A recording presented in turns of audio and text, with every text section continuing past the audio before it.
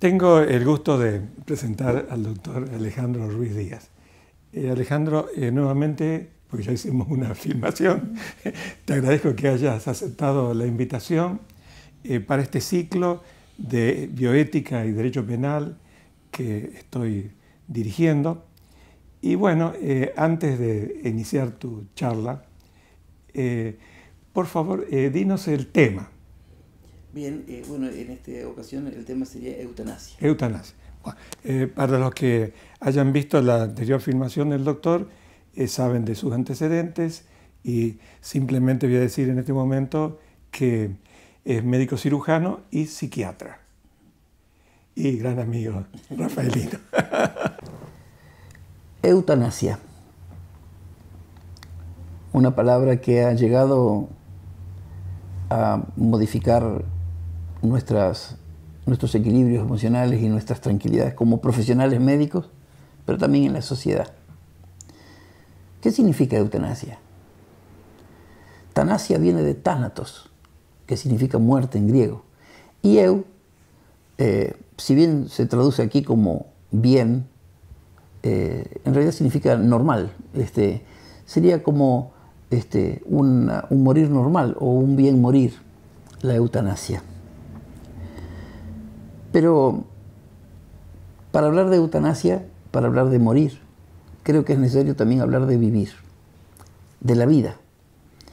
Porque creo que es evidente que así como estos conceptos y estas situaciones vienen a romper ciertos equilibrios estructurales, quizás viejos, ancestrales que traíamos, también es cierto que se producen porque van cambiando nuestras relaciones con esos conceptos. Si uno dijera, ¿qué es la vida? ¿Qué problema, no? Uno busca definiciones y se encuentra con que la vida es nacer, crecer, reproducirse y morir. Cuando leí esa primera definición digo, quien no se reproduce no estaba vivo, entonces, este, no todos nos reproducimos, ¿no? Pero qué, esquemático, qué, biológico. Eh, otros hablan de que es un periodo, la vida es, un, es el periodo que media entre el nacer y el morir. Acá tendríamos dos problemas. Pensar que la vida solamente es tiempo o definir nacer, porque bueno, morir es lo que estamos trabajando. Otros dicen que es como un instinto. Creo que es Nietzsche que habla del instinto de desarrollo de sobrevivencia a partir de la acumulación de poder y de fuerza que permite desarrollarnos. Alguien dice de pronto que vivir es existir, es ser. Sí, y tendríamos que entender que es vivir es existir, es ser aún sin conciencia de ello, quizás, ¿no? Eh, hay gente que tiene más conciencia de existir, hay gente que tiene menos conciencia, hay gente que no tiene ya conciencia, pero sigue viva. Y la vida, esto que se nos aparece como un transcurrir, un tiempo, una acumulación de funciones biológicas, una organización instintiva de permanecer, de seguir siendo, el hombre le ha buscado un sentido, le ha buscado objetivos. Hay un sentido único para la vida. O cada uno tiene un sentido diferente. O el sentido se lo pone cada uno.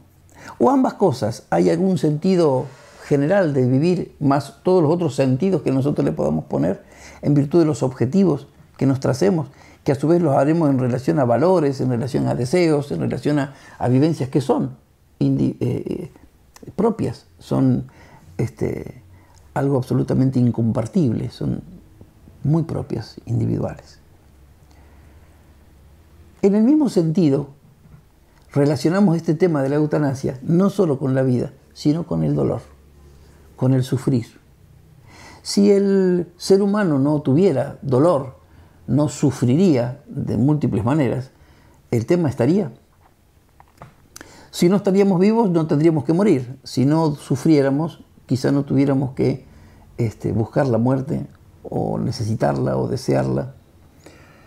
Pero el dolor, el sufrir, también es una, una experiencia muy propia, muy íntima, muy personal, muy subjetiva, en el sentido de que no se la puede transferir fácil a otro, medirla, pesarla, pero muy objetiva para quien la está viviendo.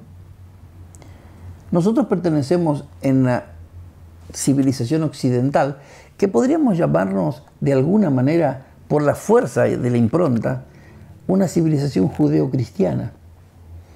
Nuestra relación con el dolor, desde esa cuestión cultural que nos, que nos embebe a la mayoría, a la enorme mayoría, este, no hablo solamente de quienes creamos en el judeo-cristianismo, sino que este, no, se puede uno eh, desembarazar de toda esa presión cultural en la que vive, las ideas mayoritarias, las tradiciones culturales mayoritarias. De pronto el dolor aparece en la lista de lo malo, no solo de lo feo. Pareciera que el dolor se asocia a fracaso, a cosa mal hecha, y ahí se tiñe por allí la presencia de una cierta justicia divina o que tenga que ver con merecimientos, y, y allí como cada uno lo va eh, armando en su interior de distinta manera y lo va sufriendo y lo va percibiendo de distinta manera. Decimos que cada uno de nosotros en lo personal tiene una idea de lo que es el vivir, una idea mayoritariamente inconsciente de para qué se vive. Cuando en el consultorio quiero incomodar a la gente, le pregunto, ¿usted para qué cree que vivimos? No por qué vivimos. ¿Para qué vivimos todos los seres humanos? Y el 90% me reconoce que nunca se ha hecho esa pregunta. Siendo que si hay un para qué, esa sería la pregunta principal de nuestra existencia, la, que daría inicio a nuestros proyectos. El dolor tiene que ver con, decíamos, con lo malo, tiene que ver con este, a veces alguna cuestión de eh, personas que lo toman como experiencias a partir de las cuales deberíamos aprender cosas, es como un idioma, un lenguaje en el que la vida también nos está hablando. Algunos tienen que ver con una visión de la justicia divina, de la, de la, justicia de las cosas. ¿Y qué tiene que ver, por ejemplo, con la salud? El dolor tiene que ver con la salud, tiene mucho que ver con la salud. Primero porque hay muchas cosas que duelen y que no tienen que ver con una enfermedad. Eh, duele, por ejemplo, que nos abandone una novia de repente, por ejemplo, pero eso no es una enfermedad, eso es un sufrir como consecuencia lógica de algo. Enfermo sería si amáramos ese ser, nos, nos abandonara de pronto y no sintiéramos nada, no pudiéramos sentir nada. ¿no? Este, pero también podemos estar enfermos, al revés, podemos estar enfermos sin sufrir. Hay personas que tienen hipertensión, diabetes, mucho tiempo y nunca sufren ningún dolor, hasta que la enfermedad se manifiesta. La definición de salud es aquí importante porque la eutanasia está en relación a enfermedades o padecimientos o cuestiones que la medicina define como este, patológicas, este, y sería bueno entonces que entendamos qué es estar sanos. Algunas calificaciones, clasificaciones o definiciones de, salud tienen que ver con eh, equilibrios biopsicosociales, yo creo que la palabra equilibrio tiene mucho que ver con la salud, pero si entendemos como equilibrio muy dinámico, un equilibrio constantemente conservado a partir de acciones, porque el equilibrio, equilibrio, la inmovilidad total es de la muerte, no de la, de la vida, digamos. La vida es dinamismo, es movimiento. Hay definiciones que tienen que ver con este, definirlo por el, por el contrario, es la ausencia de enfermedad. En una reunión entre médicos y filósofos, trabajadores de derechos humanos de, España, en Cataluña, se logró una definición de salud que a mí me parece maravillosa y que es la que yo tengo en mi interior. Salud es la capacidad de ser libre, feliz y solidario.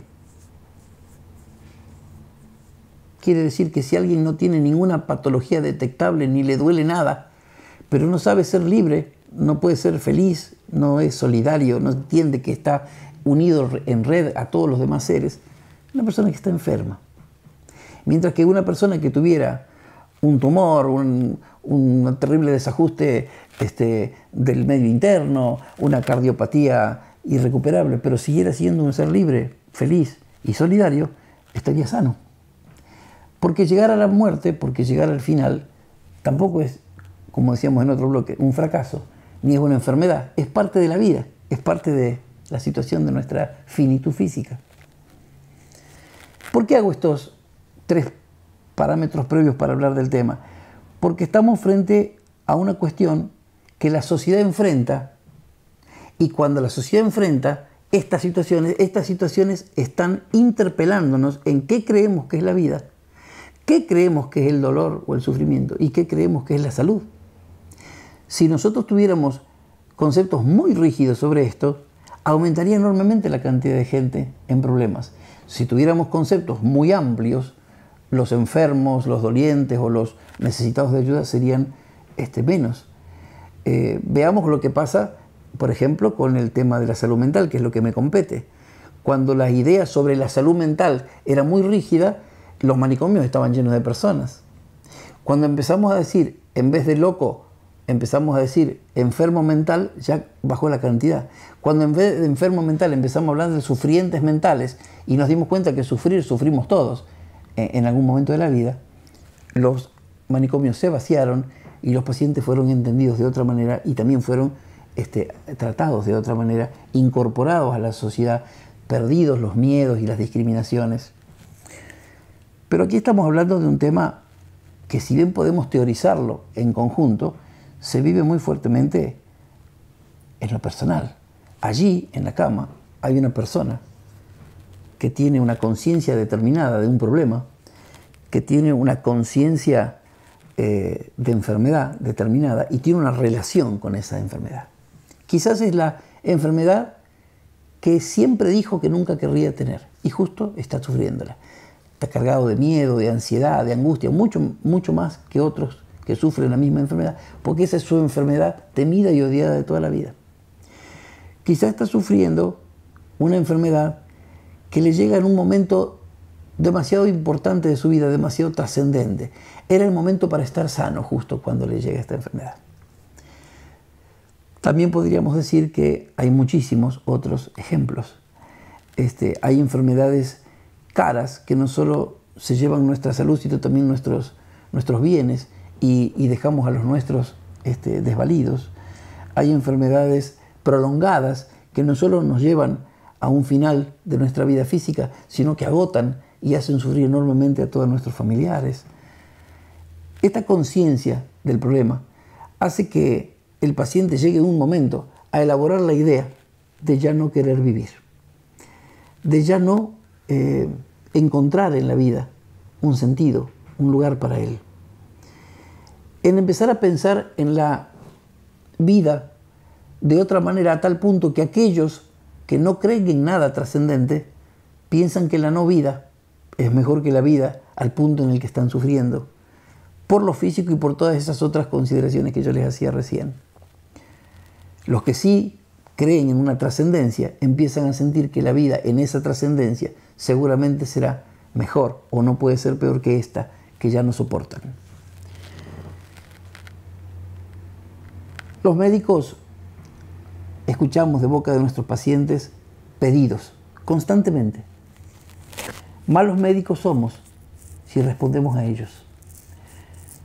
El pedido, que es lo que el paciente verbaliza, esconde la demanda, que es lo que realmente nos está pidiendo, que es lo que realmente está necesitando desde una mirada que, eh, incorpora lo que el paciente transmite y lo que nosotros sabemos, en un mix, no solamente lo que nosotros sabemos.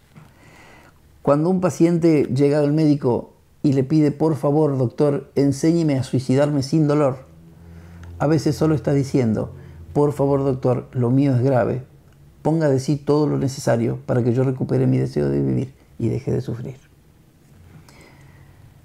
Tenemos que ver que el paciente que llega al punto de pensar que la vida ya no puede ser soportada, eh, tiene distintos tiempos de reflexión. A veces es la primera idea en un, en un comenzar catastrófico a veces de una enfermedad, pero con el tiempo el cambio en las situaciones de vida, el acondicionamiento, la aparición de otras situaciones que el paciente no sabía que iban a aparecer, hacen que su vida sea soportable y luego que sea también disfrutable. El tiempo de padecimiento. No es lo mismo un paciente que pide morir a los dos días de un grave accidente porque su constitución psicológica, muy pusilánime, muy inseguro, le hace pensar que ya nada es posible, o un paciente que pide eso después de 10 años de un padecimiento atroz, eh, doloroso, incómodo, limitante, angustiante, humillante para él y sus familiares. No es lo mismo un paciente que pide esta ayuda estando solo, un paciente sin familia, un paciente sin afectos que alrededor, un paciente que no tiene quien le ayude con esta carga, o el otro paciente, el que está rodeado de amor, rodeado de familiares, amigos, muy relacionado, con relaciones que responden, que están en él, que, que, van hacia él, que acuden a sus, a sus necesidades. No es lo mismo un entorno continente que un entorno ausente. No es lo mismo el paciente que ve de venir su historia de sufrimiento, de dolor y ese acercamiento largo a veces, demasiado lento a veces para la percepción del paciente hacia la muerte, que este, un paciente que se, eh, que se siente de pronto este, rodeado en este camino de, personas que lo, que lo ayudan. Eh, tiene que ver también con las posibilidades de lucha. Hay personas que son jóvenes, que son fuertes, que tienen una percepción de tiempo muy larga, que son eh, psicológicamente luchadores. Eh, hay otros pacientes que son débiles, son temerosos, no solo temen lo que está pasando, sino las consecuencias de lo porvenir. Este, las posibilidades de lucha física, un paciente añoso, un paciente débil, debilitado por otras enfermedades previas. Son todas estas cuestiones, de pronto, las que hacen a la conciencia de problema, a la conciencia de enfermedad, a la conciencia de situación del paciente, pero es la que el médico, es la que el entorno de salud también debe percibir para determinar hasta dónde este, esa percepción del paciente se va a mantener, puede mejorar o va a agravarse. Pero llega de pronto, llega de pronto el momento en que esto deja de ser teórico, decíamos.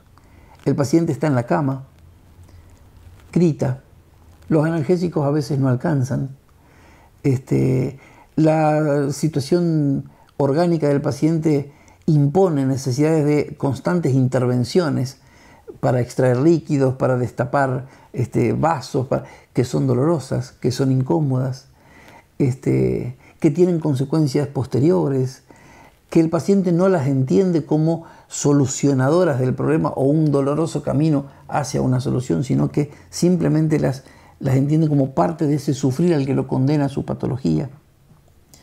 Y empieza a ver aquí lo que mm, podemos decir que quizás sea la primera reacción, que es el comienzo de, la aparición de personas que empiezan a solicitar, eh, por ejemplo, cosas como, si me muero, no me reanimen.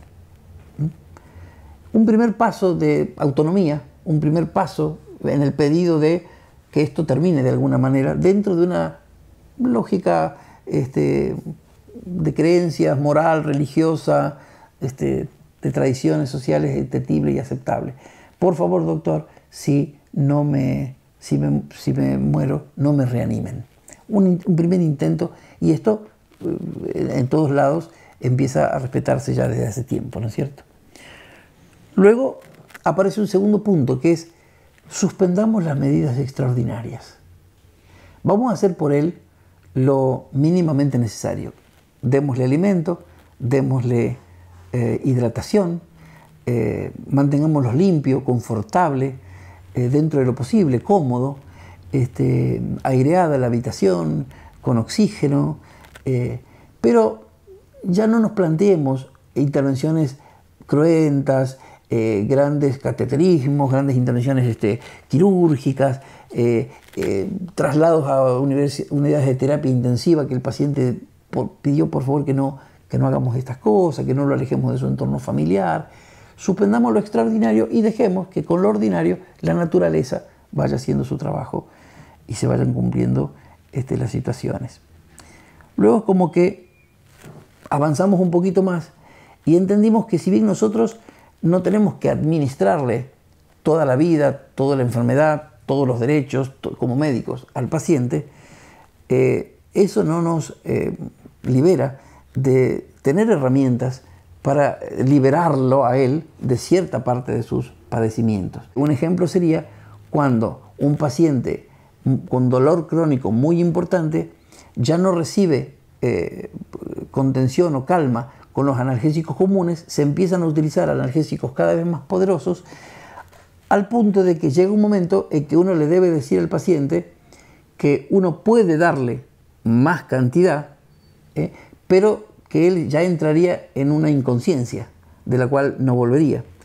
Este, y eso sería un paso de acercamiento ya más grande a la responsabilidad que, eh, que, tomamos frente al dolor del paciente para que su muerte sea digna, para que no sea este, demasiado más doloroso, incómodo, sufriente humillante de lo que eh, sería necesario, pero sabiendo que, aunque no es lo que buscamos, el paciente podría morir en, ese, en esa situación y de hecho eh, el paciente lo pide, la familia lo acepta, este, se, se, entiende como lógico, porque no se entiende como lógico que una persona que esté condenada a morirse porque la medicina no pueda tratarla, también deba forzosamente sufrir dolor. Luego podríamos decir que aparece algo más complejo, no estoy hablando de en, el tiempo, sino en lo complejo, ¿no? Y que es auxiliar al, al paciente a morir. Aquí estamos hablando de suicidio asistido. Ya aquí es un cuadro en el cual el paciente exculpa a los demás de su supuesta, de su, posible, muy posible y de su futura muerte, pero necesita ayuda de esos demás. Aquí hablaríamos, por ejemplo, de una persona que puede solamente mover levemente una mano, por ejemplo, un brazo, está paralizado, está lleno de dolor. Esto lleva años lleva mucho, mucho sacrificio durante mucho tiempo, desgaste de todo tipo, psicológico, perdió las ilusiones, las que tenía se le fueron cayendo y, se renovó su dolor. Y el paciente quiere terminar con su vida, pero no puede solo. El suicidio asistido se produce cuando, con indicación de medicamentos por el médico, no el médico, sino otras personas, normalmente hay ONGs que trabajan en esto, preparan todo y el paciente, cuando él lo decide, este, se administra esa medicación. A veces es una toma de un, líquido y según las capacidades funcionales del sujeto y de su este, condición mental, a veces es eh, presionar algún tipo de botón o de, jeringa que le introduce el, el remedio, en, el fármaco en el cuerpo y el paciente puede eh, morir. Y por último, si llegamos a lo que es la intervención más absoluta y que es la, interpelación más grande ya con respecto a lo que es este primero no dañar y los principios de la medicina, ¿no es cierto? Y que tiene que ver con la eutanasia. La eutanasia son medidas de acción o de inacción que tienen por este, conocido este, eh, eh, consecuencia, por conocida consecuencia, la muerte del sujeto. La directa es, a su vez, activa y pasiva. La eutanasia directa, activa, es la aplicación por parte del médico de sustancias, de algún tipo de sustancias y de algún tipo de forma de aplicación que produce la muerte del sujeto. Siempre que el sujeto esté consciente y acuerde con ello, si no sería un homicidio. Este, el paciente debe estar de acuerdo, debe pedirlo, debe solicitarlo y el médico actúa. Eh, la, la eutanasia directa pero pasiva es la decisión del médico de suspender todo tipo de tratamiento y todo tipo de cosas este, que sostiene la vida del sujeto para que el sujeto pueda fallecer al, no tener esos soportes. A, su vez, la, la eutanasia indirecta sería este, dejar de proveer al sujeto de un montón de situaciones, aún más, más que la anterior, este, donde ya no hay, este, puede este, introducirse hasta, la alimentación del sujeto y el sujeto puede eh, fallecer. Esto tiene en distintos países una evolución según la cultura de cada país, según los, lo que la sociedad de cada país ha ido determinando y también ya se está hablando del análisis de sus problemas. Porque esto del consentimiento se sospecha, yo no estoy en lo judicial, pero se sospecha o se, se conoce casos donde eh, el médico usó más su criterio ante el sufrimiento del, paciente que el, que el, del propio paciente, eh, donde se, se, supone cierto abuso en las autorizaciones de estas situaciones y se ha llegado a la mm, utilización de la eutanasia en pacientes que, en teoría, porque hay que ver caso por caso, no parecieran pasibles de esta conducta. Es como que el hombre produce situaciones y después debe analizar también las consecuencias, los riesgos y las deformaciones de esto. ¿no? Pero en este momento tenemos países con aceptación de suicidio asistido, pero no de eutanasia, pacientes con una enorme cantidad de derechos reconocidos al paciente en cuanto a negarse a recibir cierto tipo de tratamientos. Este, hay otros que, como el nuestro, hablan de la ley de muerte digna, este, más allá de cuánto se le aplique, pero eh, se reconoce al paciente autonomía y, libertad para poder este, eh, obtener una, muerte sin tanto sufrimiento. Y en algunos, este, pionero los Países Bajos en esto, en, Latinoamérica, Colombia, eh, con la presencia ya de la eutanasia, digamos. ¿no? Creo que es un debate largo porque no solo es un debate médico, como decíamos, no, la salud no es solamente una cosa de los médicos.